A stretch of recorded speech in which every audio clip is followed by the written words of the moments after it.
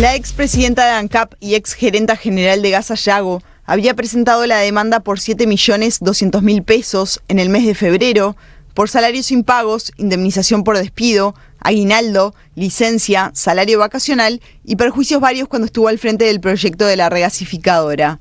Horas antes de que se conociera la sentencia que le da la razón en primera instancia, Jara publicó una carta en su cuenta de Twitter en la que asegura que en una carrera de 30 años se encuentran muchas situaciones que exigen entereza para defender principios.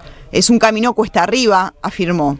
Siempre he defendido mi trabajo, como creo que cada uno defiende el propio, y como mujer estoy acostumbrada a levantar un poquito la voz para que me escuchen, agrega.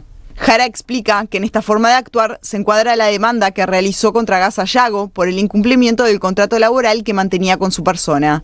La ingeniera afirmó que no podía permitir que quienes tienen la obligación de brindar garantías sean quienes pretenden limitarlas.